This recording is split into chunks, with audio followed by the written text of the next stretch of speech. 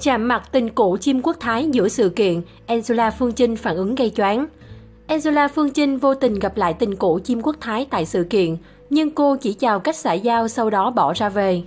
Hơn 2 năm trước, dư luận không khỏi ồn ào khi bác sĩ Chim Quốc Thái từng công khai những hình ảnh thân mật bên Angela Phương Trinh và cho biết cả hai từng yêu đương và vị đại gia này từng cho cô một số tiền khá lớn khi hai người bên nhau. Tối ngày 29 tháng 12, tham gia một sự kiện tại thành phố Hồ Chí Minh, Angela Phương Trinh diện trang phục trắng sexy, thu hút sự chú ý của đông đảo khách mời tại đây. Điều đặc biệt là cũng góp mặt tại sự kiện là Chim Quốc Thái, người từng hẹn hò với bà mẹ nhí. Ngay tại khu vực chụp ảnh, khi cánh truyền thông đề nghị chụp ảnh chung các vị khách mời, Angela Phương Trinh đã bước xuống viện lý do chỉnh lại trang phục để không đứng cùng chim quốc thái. Angela Phương Trinh cười chào tình cũ một cách xã giao và chụp hình riêng với ekip rồi bỏ ra về sớm.